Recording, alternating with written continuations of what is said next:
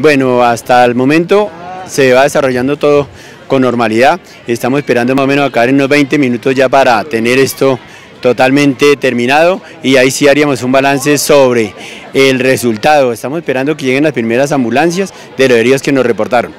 El hospital ya está recogiendo heridos en el barrio Girardó y aquí ya nos toca esperar a ver cuántos se demoran en llegar, tomar tiempos, mirar qué calidad de respuesta tuvimos ante la emergencia.